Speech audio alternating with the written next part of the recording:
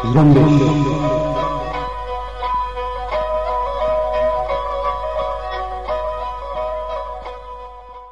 دن چاشمبے اور سال دو ہزار بیس ہے۔ ریڈیو زرمبش کی طرف سے تمام سائمین کو نئے سال کی مبارکباد۔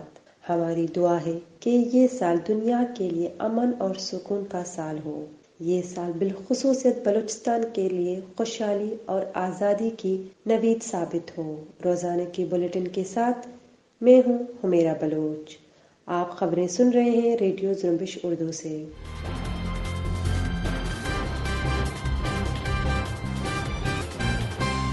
یونائٹڈ بلوچ آرمی کے ترجمان مزار بلوچ نے کہا ہے کہ اتوار کے روز ان کے سرمچاروں نے کولو اور سی بی کے درمیانی علاقہ کرمو وڈ کے مقام پر قابض ریاست کے تعمیر و ترقی کے نام پہ لوٹ مار کرنے والے اہلکاروں کو چھوٹے اور بڑے ہتھیاروں سے نشانہ بنایا۔ یو بی اے ترجمان نے کہا ہے کہ بلوچ قومی وسائل کے لوٹنے والے کمپنیوں اور ٹھیکیداروں کو متحدد بار تنبی کرنے کے باوجود بھی وہ سرکاری سرپرستی میں اپنے اس گناؤنے عمل کو ترک نہیں کر رہے ہیں اور مقامی لوگوں کو بھی بلوچ قومی وسائل کو لوٹنے اور بلوچ سرمچاروں کو نقصان دینے کے لیے لیویز سمیت لوٹ مار کرنے والے مختلف کمپنیوں، ایجنسیوں میں چند ہزار روپے کے تنخواہ پہ اپنے مفادات کے لیے استعمال کر رہے ہیں۔ یہ سب ہمارے نشانے پہ ہیں۔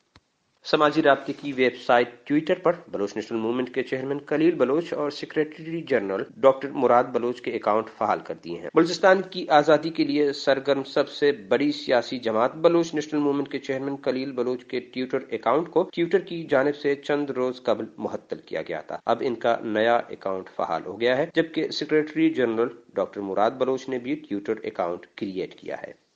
الیکشن ٹریبیونل نے بلوچستان کے حلقہ پی بی ہاٹ بارکان اور پی بی اڑتالیس کے چار سے کامیاب ہونے والے امیدواروں کی کامیابی کو کالہدم قرار دے دیا ہے۔ بلوچستان ہائی کورٹ کے الیکشن ٹریبیونل نے بلوچستان عوامی پارٹی کے سردار عبد الرحمان کیتران اور اکبر آسکانی کے انتخابی حلقوں میں دوبارہ انتخابات کا حکم دیا ہے۔ جسٹس نذیر احمد لانگو کی سربراہی میں بینچ نے سماحت کی اور الیکشن کمیشن آف پاکستان کو ہدایت کی ہے کہ وہ دونوں امیدواروں کی کامیابی کے نوٹیفیکیشن معطل کریں۔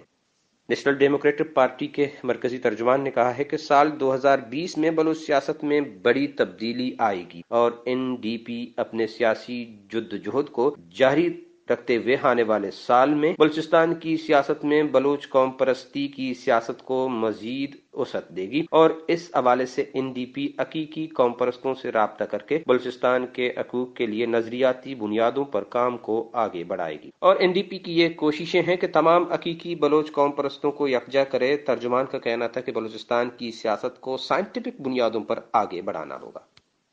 ارنائی کے علاقے کوسٹ میں ایک کوئلہ کان میں کام کے دوران رسی ٹوٹنے کی وجہ سے ایک ٹرالی الٹ کر مزدوروں پر جاگری ہے، جس کے نتیجے میں دو مزدور ہلاک ہو گئے ہیں۔ مزدوروں کا تعلق افغانستان سے بتایا جاتا ہے۔ نیشنل پارٹی کے مرکزی صدر اور سابق وزیر اعلیٰ بلوچستان۔ ڈاکٹر عبد المالک بلوچ نے کہا ہے کہ بلوچستان میں اپوزیشن کے پاس وہ تعداد نہیں جس سے وہ وزیر اعلیٰ کو گھر بھیج سکیں۔ ان کا کہنا تھا کہ بعض حکومتی نمائندے موجودہ وزیر اعلیٰ سے ناراض ضرور ہے مگر بلوچستان میں حکومت کی تبدیلی ممکن نہیں۔ ایک سوال پر ڈاکٹر مالک بلوچ کا کہنا تھا کہ موجودہ وفاقی حکومت کی ناقص کارکردگی کی وجہ سے بیس لاکھ افراد بے روزگاری کا شکار ہو چکے ہیں۔ مہنگائی، بے روزگاری سے لوگوں کی مشکلات میں مسلسل اضافہ ہوتا جا رہا ہے۔ جمعیت علماء اسلام کے مرکزی سیکریٹری جنرل مولانا عبد الغفور ایدری نے کہا ہے کہ نیا سال عوام کے لیے خوشخبری اور تبدیلی کے تحفے لائے گا۔ ان کا کہنا تھا کہ جہلی حکمران آخری سسکیاں لے رہے ہیں اور ناہل طبقے نے عوام کو پریشانیوں کا پیکج دیا ہے اور عوام کے مینڈیٹ کو چوری کرنے والے مختصر وقت میں بری طرح ناکام ہو گئے ہیں۔ اس لیے حکومت کا پہیا جام بے روزگاری میں ریکارڈ اضافہ ہوا ہے۔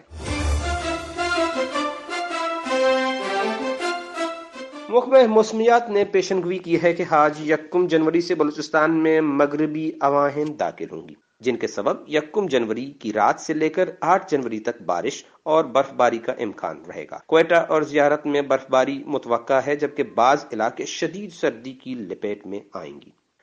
کراچی کے علاقے شیر شاہ چوک پر ایک تیز رفتار کار بے قابو ہو کر سڑک کنارے کڑے ایک ٹرک سے ٹکرا گئی، جس کے نتیجے میں تین افراد ہلاک جبکہ دو شدید زخمی ہو گئے ہیں۔ دوسری طرف پنجاب کے شہر گجرا والا کے علاقے وزیر آباد میں باراتیوں سے بری بس نالے میں جاگری جس کے نتیجے میں چار افراد ہلاک اور نو زخمی ہو گئے۔ زخمیوں کو اسپتال منتقل کر دیا گیا ہے۔ پاکستان میں نصر اللہ چودھری نامی ایک صحافی کو ممنوع لٹریچر کے ذریعے نفرت پھیلانے اور دہشت گرد تنظیم کی سہولت کاری پر پانچ سال قید بہ مشقت اور جرمانے کی سزا سنائی گئی۔ کراچی کے انسداد دہشت گردی کی عدالت کا اپنے فیصلے میں کہنا تھا کہ ملزم پر دونوں جرم ثابت ہو گئے ہیں۔ واضح رہے کہ یہ پہلا موقع ہے کہ انسداد دہشت گردی قوانین کے تحت کسی صحافی کو سزا سنائی گئی ہے۔ ریڈیو پاکستان نے دعویٰ کیا ہے کہ بھارت کے زیر انتظام کشمیر پر رپورٹنگ کی وجہ سے فیس بک انتظامیہ نے اس کے نیوز بلیٹن کی لائیو اسٹریمنگ کو بلاک کر دیا ہے۔ ریڈیو پاکستان کی ویب سائٹ پر شائع ہونے والی رپورٹ کے مطابق ریڈیو پاکستان نے فی الحال اپنے نیوز بلیٹن کو یوٹیوب پر نشر کرنا شروع کر دیا ہے۔ ریڈیو پاکستان نے وہ اسکرین شاٹس بھی جاری کیے ہیں جن میں انہیں ماضی میں فیس بک کی طرف سے کچھ مضامین کے شائع کرنے پر خبردار کیا گیا تھا۔ پاکستان کے وفاقی وزیر منصوبہ بندی و ترقی اسد عمر نے کہا ہے کہ سال دو ہزار بیس کے دوران چین، پاکستان اقتصادی راداری کے سمرات نظر آنا شروع ہو جائیں گے، جن سے صنعت اور زراعت سمیت معیشیت کے پیداواری شعبوں پر مثبت اثرات مرتب ہوں گے۔ ایک انٹرویو میں ان کا کہنا تھا کہ حکومت پاکستان کو فلاحی ریاست بنانے پر پختہ یقین رکھتی ہے، جس کے لیے اقدامات کیے جا رہے ہیں۔ افغانستان کے جنوبی صوبے کندہار کے ضلع شوراوک میں منگل کی رات سرحدی فورسز کے دو چیک پوسٹوں پر مسلح شدت پسندوں نے بڑے پیمانے پر حملہ کیا ہے۔ حملے میں دو طرفہ جانی نقصان کی اطلاعات موصول ہوئی ہے شوراوک کے دو مقامات، بادی کنڈی اور سرحدی چیک پوسٹوں پر حملہ کیا گیا ہے۔ کندہار صوبے کے پولیس سربراہ تادین خان اچکزئی نے دعویٰ کیا ہے، فورسز کی چیک پوسٹوں پر عملہ حوروں کا تعلق پنجاب اور کشمیر سے تھا اور حملے میں افغان فورسز کے ہاتھوں اٹھائیس شدت پسند مارے گئے ہیں، جن کی لاشیں ڈیورنٹ لائن کے دوسرے جانب منتقل کر دیے گئے ہیں۔ دوسری طرف طالبان نے شمالی افغانستان میں حکومت کی حامی ملیشیا کے ایک کمپاؤنڈ پر حملہ کر کے چودہ افغان سیکورٹی اہلکاروں کو ہلاک کر دیا ہے۔ امریکی خبر رساں ایجنسی اے پی کے مطابق طلوع سیر سے قبل صوبہ جوزجان میں کیے گئے حملے کی ذمہ داری طالبان نے قبول کر لی ہے۔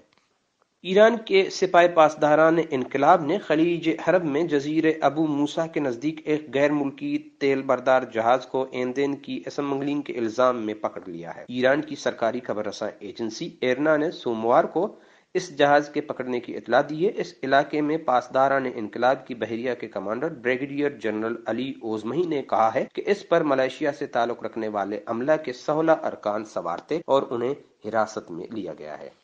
بھارت کی army chief general Bipin Rawat کو عہدہ سے سبکدوش ہونے سے ایک دن پہلے ملک کا پہلا چیف آف ڈیفنس اسٹاف نامزد کر دیا گیا ہے۔ یہ عہدہ فور اسٹار جنرل کے مساوی اور تینوں افواج کے سربراہوں سے اوپر ہوگا۔ سی ڈی ایس بری بحری اور فضائی افواج کی مشترکہ کمان کا مشیر ہوگا۔ سی ڈی ایس فوج کے تین شعبوں بری بحری اور فضائیہ کے درمیان تال محل کو یقینی بنائے گا اور انہیں محسر قیادت فراہم کرے گا۔ بھارت کی ریاست اتر پردیش کی حکومت نے بابری مسجد کی تعمیر کے لیے پانچ مختلف مقامات کا انتخاب کیا ہے، جس میں سے کسی ایک منتخب کردہ زمین کو سنی وقف بورڈ کے حوالے کیا جائے گا۔ اتر پردیش کی حکومت نے پنچوکسی پاری کرما کی تقریباً پندرہ کلومیٹر حدود سے باہر پانچ ایسے مقامات کی نشاندہی کی ہے، جہاں بابری مسجد کی تعمیر کے لیے زمین مختص کرنے کی تجویز ہے۔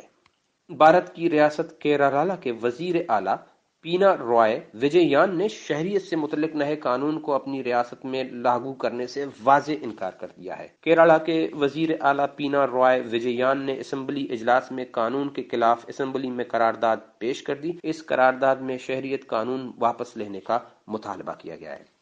عراق کے شہر بغداد میں منگل کو ہزاروں مظاہرین اور ملیشیا کے جنگجوہوں نے امریکی سفارت خانے کے باہر جمع ہو کر پرتشدد احتجاج کیا ہے۔ مظاہرین اتوار کو عراق اور شام کے سرد کی قریب ایرانی حمایت یافتہ ملیشیا کتائب عزب اللہ کے اڈوں پر امریکی فضائی عملوں کے خلاف مظاہرہ کر رہے تھے۔ دوسری جانب خبر رساں ادارے ایسوسی ایٹڈ پریس کے مطابق مظاہرین نے سفارت خانے پر دعویٰ بولنے کی کوشش کی ہے۔ دوسری طرف امریکی صدر ڈونلڈ ٹرمپ نے ایران پر منگل کے روز عراق کے دارالحکومت بغداد میں امریکہ کے سفارت خانے پر حملہ کرنے کا الزام عائد کیا ہے۔ ٹرمپ کا مزید کہنا تھا کہ اب ایران نے عراق میں امریکی سفارت خانے پر عملے کی سازش کی ہے، انہیں اس عملے کا مکمل طور پر ذمہ دار گردانا جائے گا۔ امریکہ کے قومی سلامتی کے سابق مشیر جان بولٹن نے پیر کے روز کہا ہے کہ عراق اور شام میں ایران کے حمایت یافتہ شیعہ ملیشیا گروہوں کے خلاف امریکی کارروائی میں تاکیر کی گئی ہے۔ ان کا کہنا تھا کہ ایران کو دہشت گردی کی مسلسل پشت بنائی کی قیمت چکانا ہوگی۔ بولٹن کا ٹویٹر پر پوسٹ کردہ ایک بیان میں کہنا تھا کہ عراق اور شام میں ایرانی حمایت یافتہ گروپوں کے ٹھکانوں پر بمباری امریکہ کا درست اقدام ہے۔ لیبیا کی قومی فوج کے ترجمان میجر جنرل احمد المساری نے دعویٰ کیا ہے کہ شام سے تین سو جنگجو دہشت گرد لیبیا کی قومی وفاقی حکومت کے ساتھ مل کر لڑنے کے لیے لیبیا میں پہنچ چکے ہیں۔ میڈیا سے بات کرتے ہوئے جنرل المساری کا کہنا تھا کہ قومی وفاق اور اس کی محاون ملیشیا کی طرف سے سخت لڑائی کے باوجود قومی فوج الازبا کالونی کی اطراف میں پہنچ چکی ہے۔ دارالحکومت ترابلس پر قبضے کے حوالے سے اس کالونی کو غیر معمولی تصویریاتی اہمیت حاصل ہے۔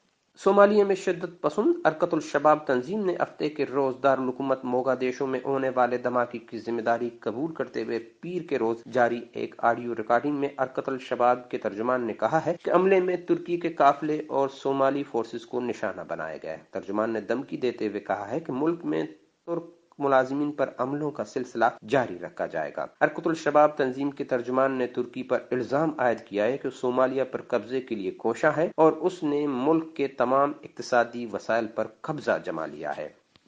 اقوام متحدہ کے ادارے یونیسیف نے کہا ہے کہ تنازعات کا شکار علاقوں میں بچوں پر حملے دو ہزار دس سے اب تک تین گنا بڑھ چکے ہیں، جس سے اندازہ ہوتا ہے کہ گزشتہ اشرا بچوں کے لیے انتہائی ہلاکت کیز رہا ہے۔ یونیسیف نے اپنی عالیہ رپورٹ میں بتایا ہے کہ جیسے جیسے یہ دہائی اپنے اختتام کے قریب پہنچ رہی ہے، دنیا بھر میں جاری تنازعات میں بچوں کو مسلسل باری قیمت ادا کرنی پڑ رہی ہے۔ بلٹن کے اختتام سے پہلے ہم آپ کو بتانا چاہتے ہیں زرمبش براڈ کاسٹنگ میں اس سال کیا کچھ نیا ہونے والا ہے؟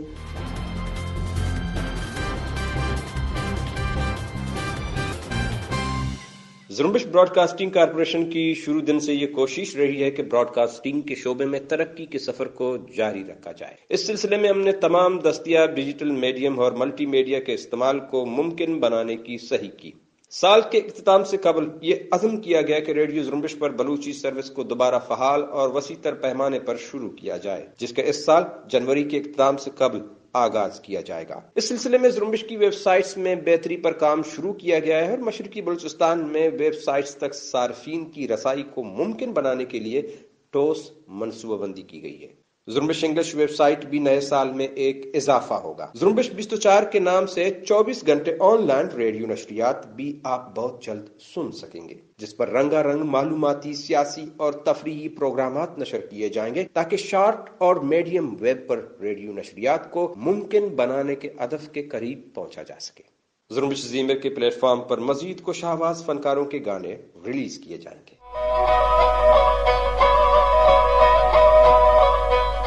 اسی کے ساتھ اجازت چاہتی ہوں